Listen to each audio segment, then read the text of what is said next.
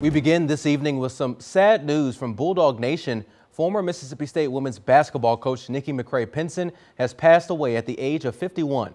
Cam Dyer joins us in the studio with more. Penson served as the Bulldogs coach for the 2020-2021 season and led them to a 10-9 record that year. She played at Tennessee before playing professionally for six different teams, becoming a three-time WNBA All-Star and being inducted into the WNBA Hall of Fame in 2012.